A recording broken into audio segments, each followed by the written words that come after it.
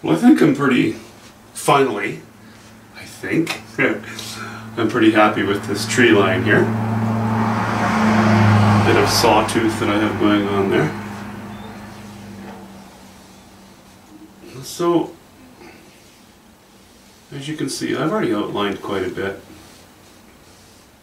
And, uh, and filled it in. You know, pretty basic colors. I've pretty much just worked with uh, ultramarine blue, burnt sienna,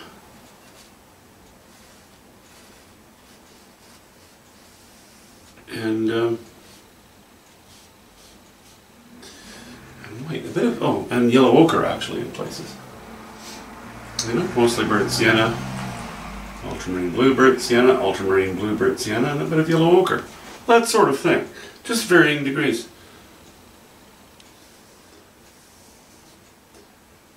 So that is going to be sort of establishing our shapes.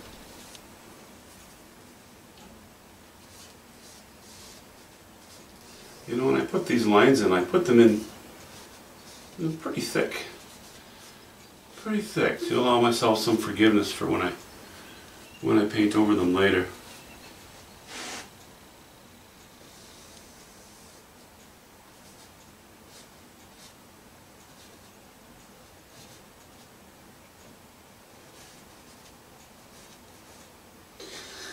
Oh, that's the way I like it, and we all need forgiveness, that's for sure. So, just gonna be patient here.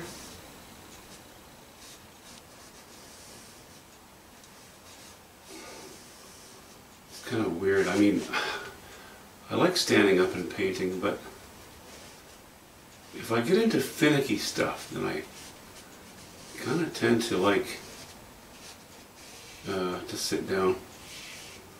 And I think I've whined about my back before too. If I do this for too long, my back gets pretty sore. But for the moment, we're just going to carry on with this. Uh, okay. We'll do our, our shoreline line.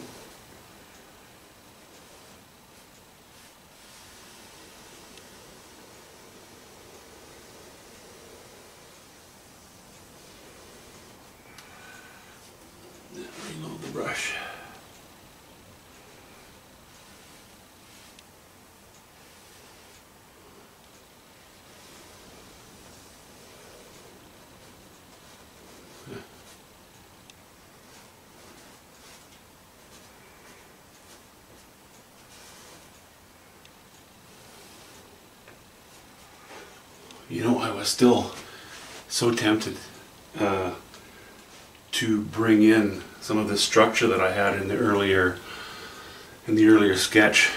Uh, I like the idea of, of a stronger tree over here maybe and you know just some closer structure but I thought that that was probably more information than the painting needed and really what my idea was in this painting is to allow the viewer to stretch to stretch their eyes a little bit so um, yeah I'm going to use sky to counter um, this well the strong part will be of course this this hillside this line. And this the tree already helps so it doesn't need much you know? Um, so I'll, I'll just do that with the sky. I love skies anyway so you know that solves itself pretty much. All right um, I'm tempted to do this bring a hillside down here Dare I do that? Maybe that's a bad idea.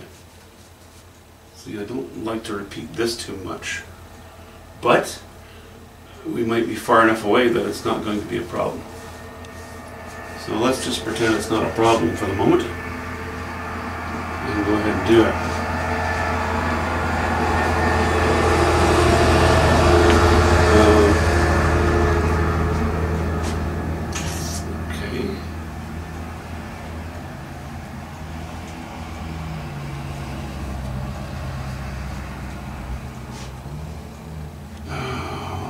Should I put in, maybe I should put in a bit of structure here, or maybe they should just all be trees. Yeah. Yes. I apologize. As soon as I put in too much structure, it, it attracts too much attention and will compete with the sky. Don't want it. I'm going to end up with more of this kind of thing going on. Just pretending that they're. I'm not painting trees, but I'm putting in these vertical strokes to indicate that rather than something that's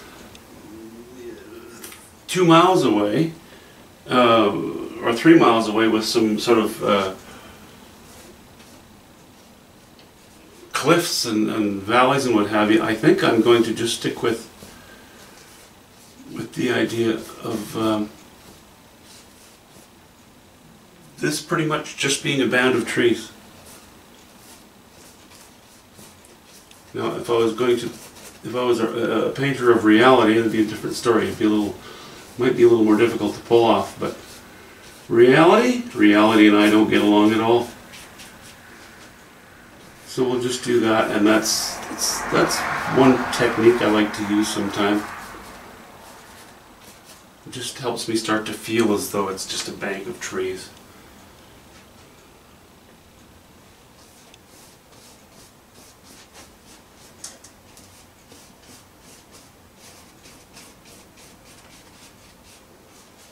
Go. I think what I probably will do though is, is show some rock, you know, some rock structure in places here and there. Uh, I don't know if I'm going to worry about that too much right now. Hmm.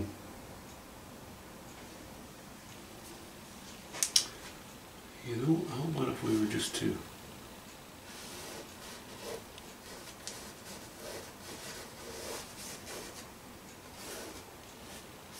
a line like that, something along those lines. I'd like to keep it simple.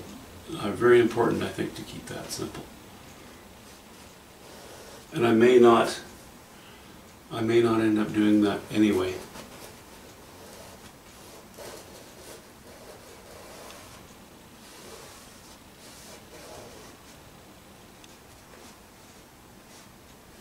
We'll see, okay? Um, I'm not going to worry about it just yet. Odds are that I will just wash the foliage in the background in, and then I'll go with yeah, sort of purples and blues, and then I'll likely just take some uh, maybe raw umber and wash in what we might end up turning into rock. Might end up ignoring rock completely. It's far enough away that we don't have to do that. We could just keep, you know, just stick with the broad strokes.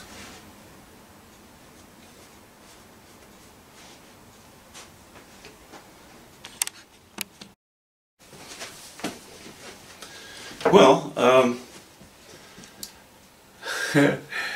I think I mentioned that I was tempted to put something more in the foreground, you know, this, this hill that I had going up here, but I didn't want a hill behind a hill or above a hill.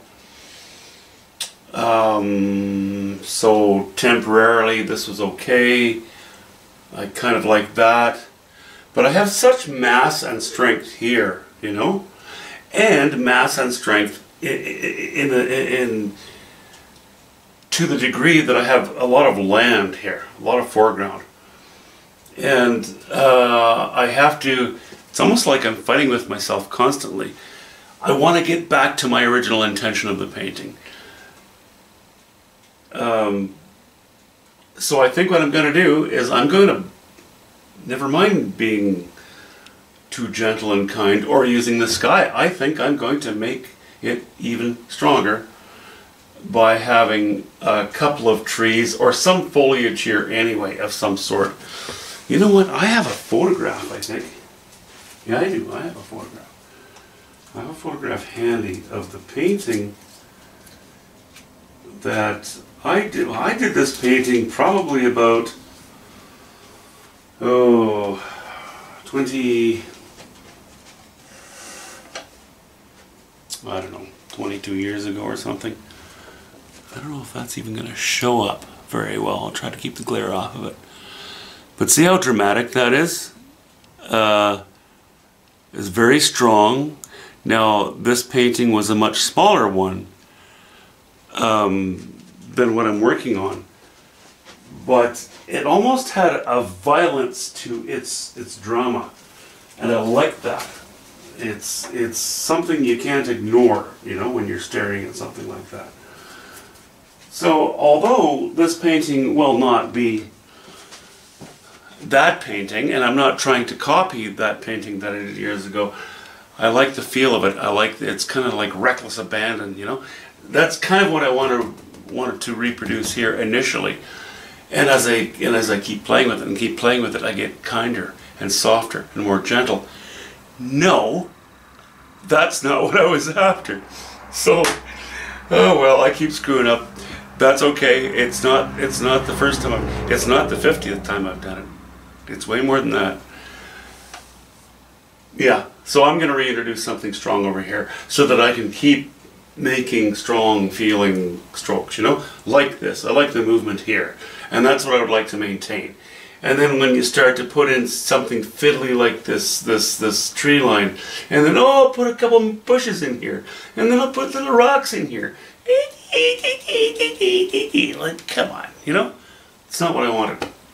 So I'm going to revisit this with a fresh mindset. Sorry, guys. This painting might have like 600 videos to it. Talk to you soon.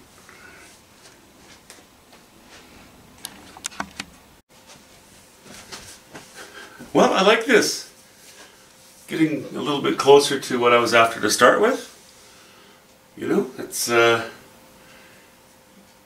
it's it's a it's a horizontal canvas, but not so horizontal that it's just panoramic. Uh, I like the idea of putting motion in here.